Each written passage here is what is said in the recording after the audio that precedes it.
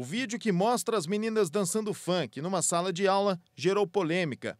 Os estudantes que estão sentados nas carteiras brincam e dão risadas. O vídeo foi feito por um dos alunos e tudo aconteceu durante a aula de educação física.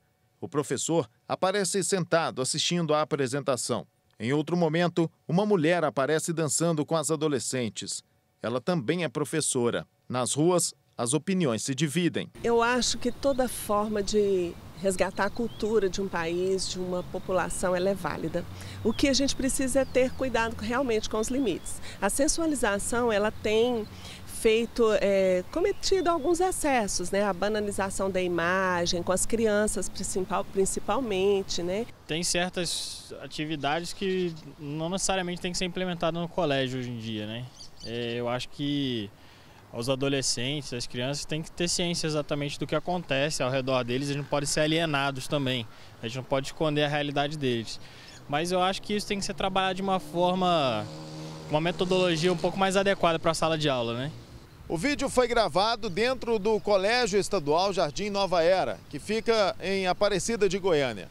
Em nota, a Secretaria de Educação do Estado de Goiás disse que o professor não vai ser punido, mas que ele será orientado para que isso não volte a acontecer mais dentro da escola. Este psicólogo especialista em comportamento viu as imagens. Ele conta que é difícil fazer uma análise precisa sem conhecer todo o contexto em que a apresentação aconteceu, mas que a dança, apesar de sensual, é uma forma de expressão comum no Brasil e que cabe aos pais também o papel de orientar os filhos manifestação cultural acontece dentro e fora da escola. Então, como é que esse pai e essa mãe estão vendo e cuidando dos seus filhos? Como é que estão sendo os valores dentro de casa? Porque é a, a, a, você ouve música pela internet, você ouve, ouve música pelo rádio, você, você, tem, você tem seu grupo social que faz parte. Então os pais realmente têm que estar mais atentos e sabendo como é que esses filhos eles estão se agrupando, como é que é que eles estão vivenciando todo esse momento da adolescência